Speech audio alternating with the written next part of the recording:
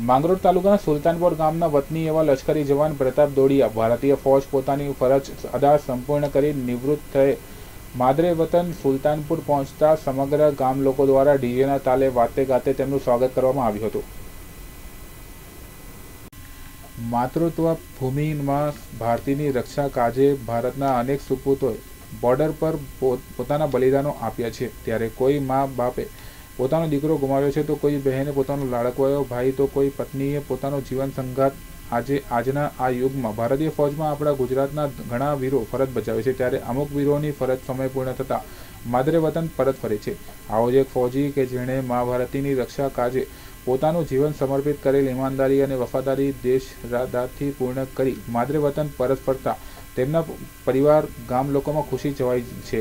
જૂનાગઢના માંગરોળ તાલુકાના સુલતાનપુર ગામના કારડિયા રાજપૂત સમાજના સપૂત આર્મીમાંથી રિટાયર થતા ગામ લોકોએ ડીજેના તાલ સાથે કર્યું અને અનેરું સ્વાગત કર્યું હતું.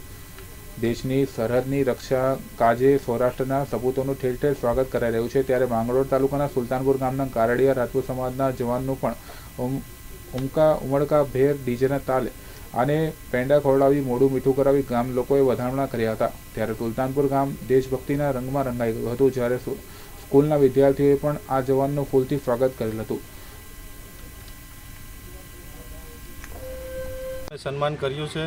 તેને હું ખૂબ ખૂબ આભારી છું કે મારા ગામના લોકોએ એટલે બધા લોકો ભેગા થઈને મારું સન્માન કર્યું. તેના માટે હું જ્યાં જ્યાં સુધી મારી અંદર જાન હશે ત્યાં સુધી હું ગામ- ગામના લોકો માટે સમાજના લોકોનો ખૂબ ખૂબ આભાર માનું છું. જે શું કહેશો નોકરીને લઈને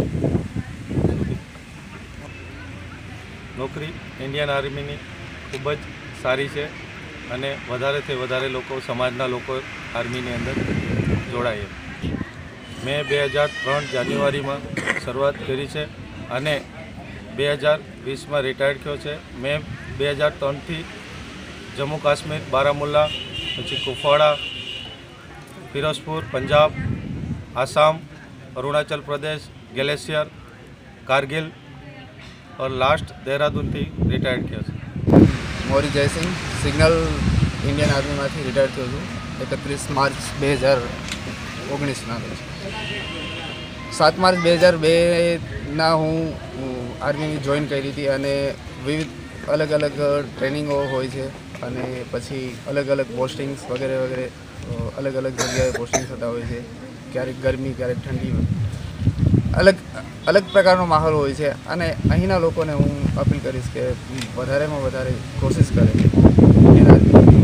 ફિઝિકલ ટ્રેનિંગ એટલી હાર્ડ નથી હોતી. અહીંના આપણા લોકો એવું માનતા હોય છે કે ફિઝિકલ ટ્રેનિંગ બહુ ટફ હોય છે. પણ આપણા સમાજના જે ક્ષત્રિય સમાજના લોકો હોય છે, એ લોકો માટે કોઈ મુશ્કેલી નથી હોતી. આર્મીની ટ્રેનિંગ કરવી અને આસાનીથી તે લોકો કરી શકે છે. અને હું જૂન, આપણે જૂન વીસથી, બે હજાર વીસ જૂનથી પણ એક ટ્રેનિંગનું આયોજન કરી રહ્યો છું. માંગરોળમાં જે લોકેશન સિલેક્ટ કરીને હું આપ લોકોને માહિતી આપીશ. તો જે લોકો એમાં જોડાવા માંગતા હોય, એ લોકોને હું ટ્રેનિંગ, કારણ કે હું ખુદ એક પીટીઆઈ હતો આર્મીમાં. અને અહીં એના આપણા વિદ્યાર્થીઓને ટ્રેનિંગ આપવા માટે કોશિશ કરું છું